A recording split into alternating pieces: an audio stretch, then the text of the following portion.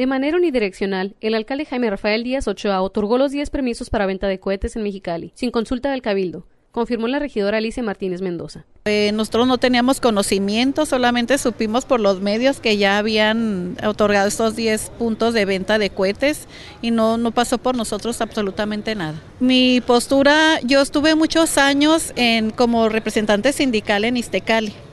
Entonces, los días 24, los días de Navidad, los días 24 para amanecer el 25 o el, primer, el 31 para amanecer el primero, yo estaba en el hospital, siempre estábamos esperando, y eso que es Istecali, ¿no? Esperando de pérdida uno o dos niños. Mutilados. Mutilados. O uno, me tocaron a mí de las manos, en la cara, niños entre 9 y 12 años de edad. En este punto yo, yo sé que nosotros como mexicalenses y hasta viene gente de Estados Unidos a querer prender cohetes aquí cuando no los dejan allá.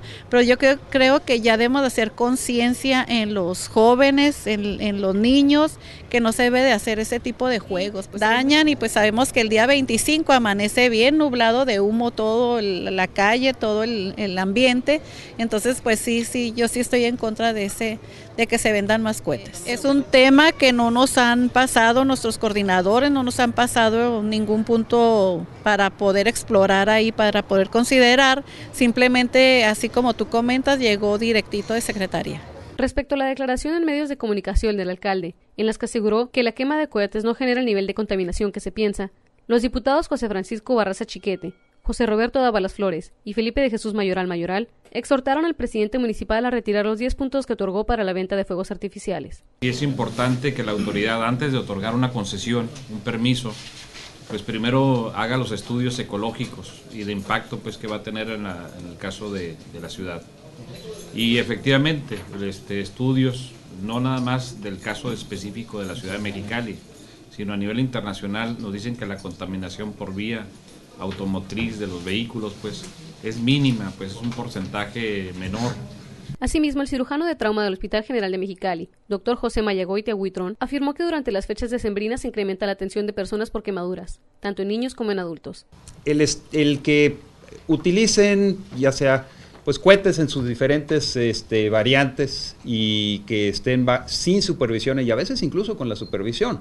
Entonces, ¿qué es lo que pasa? Bueno, pues que cualquier explosivo lo que va a provocar es obviamente una quemadura, que puede ser desde una quemadura relativamente leve y dependiendo del, pues ahora sí que del, del, proyectil o del cohete, eso va a hacer que varíe el grado de lesión.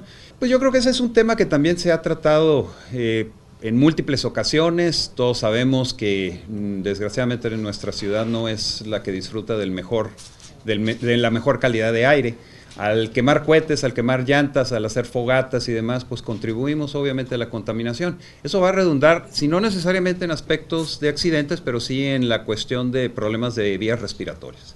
Con información de Gerson Martínez e imágenes de Hilario Partida para la crónica.com.